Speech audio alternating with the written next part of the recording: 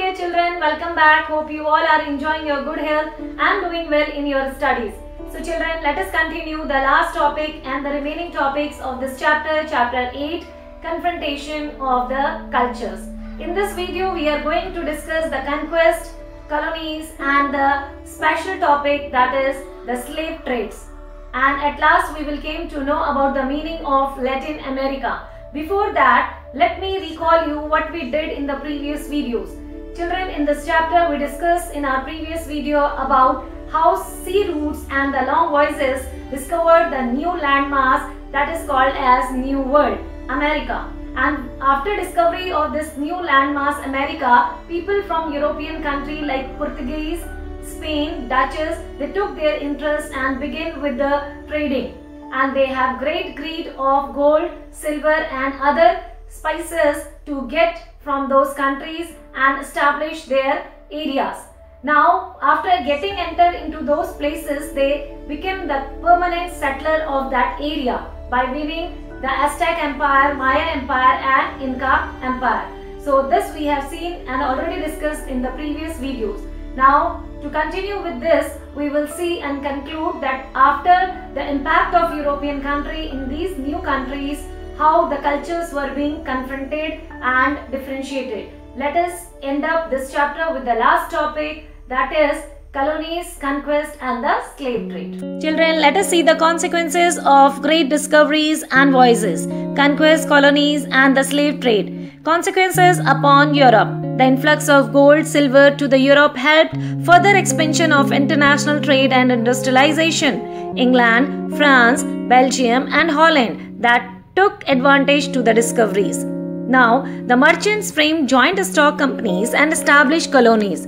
Introduction of European products like including tobacco, potato, chilies, sugar, cocoa and rubber all influenced a lot. Now, consequences on the native people. After influence of all these people, destruction of large number of native people took place. Colonies and the slave trade began a lot. The native population reduced about 3.5 million from 70 million within a century and a half. The destruction of their way of life took place a lot.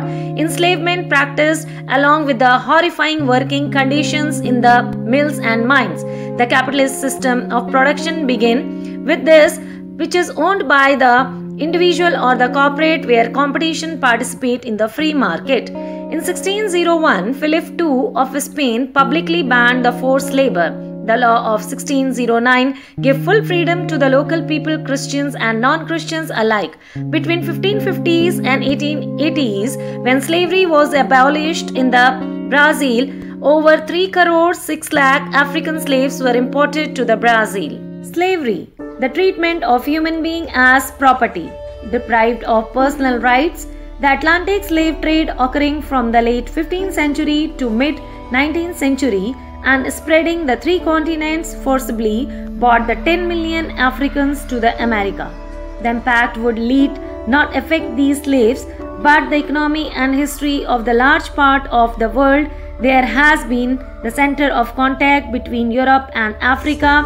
Reached the Mediterranean but Atlantic slave trade began in the late 1400 with the Portuguese colony in Africa and Spanish settlement of Americans. The crop grown in new colonies sugarcane, tobacco and cotton would lead the intensive and to cultivate all these native numbers were not sufficient or enough. So, a demand of labors arose. Europeans looked at Africa. African Slavery has existed in the centuries in various forms.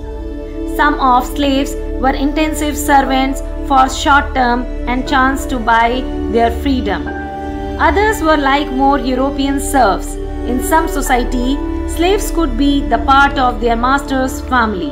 But when the white captains came and offered manufactured goods, weapons, and ran for the slaves, African come and merchant had little to hesitate. They viewed the people not as fellow African, but criminal terrors, tribes by selling them against the neighboring enemies.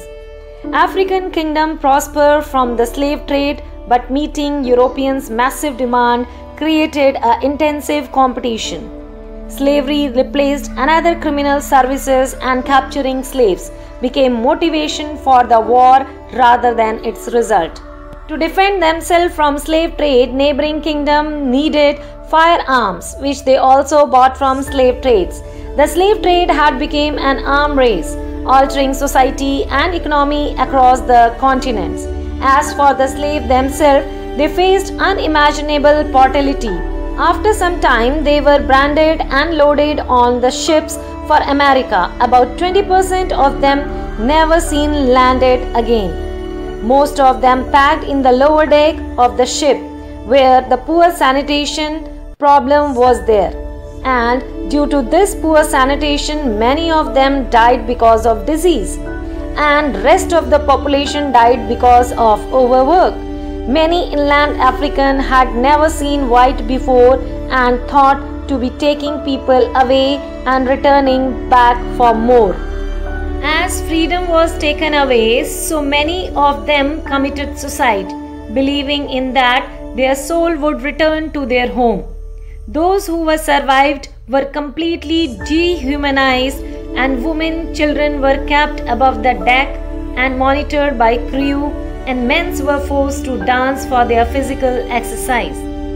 What happened to those African who reached in the New World? They were forced to work on mines and industries and bounded as labor. Atlantic slave trade became Africans' future, which lost tons and millions of able population in slavery. In that slave trade, number of men were more, in which later it affected the African democracy. Children, let us see and debate on abolishing slavery. Some argued that slavery existed in Africa prior to the entry of Europeans. They also pointed out that African helped capture young men and women to be sold as slave in return for crops imported from South America. In one of the biography, it is written that they were being treated as a part of their family. In one of the book Capitalism and Slavery, Eric William, one of the popular modern historian, initiated a reassessment of suffering experienced by the slaves. Now let us see the independence history of 13 colonies. So around 19th century European settlers in South America they rebelled against the Spain and Portugal to become independent countries. So in 1776, around 13 colonies of North America rebelled against Britain and formed the United States of America. Children, do you know which country is called as Latin America? South America is only called as Latin America. This is because Spanish and Portuguese, two of the main language of this continent, is the part of Latin family language. So children, this is the end of the chapter. Hope you enjoyed and learn out of it. And now I would request you to please once again go through the NCERT textbook to understand this complete theme clearly. Children, let us do some questionnaire. Who was the author of Capitalism and Society? Eric Williams, Francisco Pizarro, Hernan Cortes or none of these. Next question is which country is called as Latin America? North America, South America, Africa or none of these? Answer all these questions in comment. Thank you for watching.